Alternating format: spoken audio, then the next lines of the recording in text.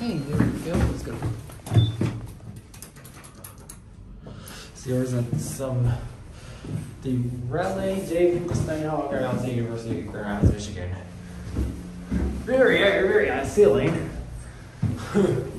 high doors accompany that.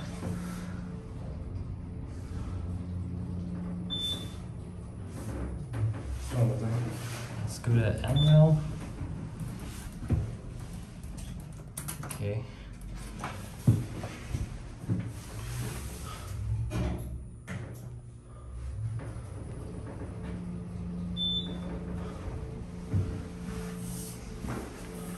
This obviously.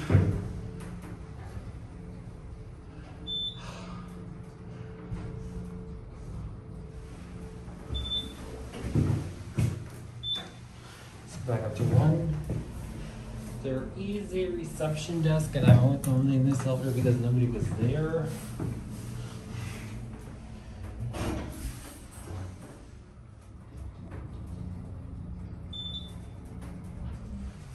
And that's it.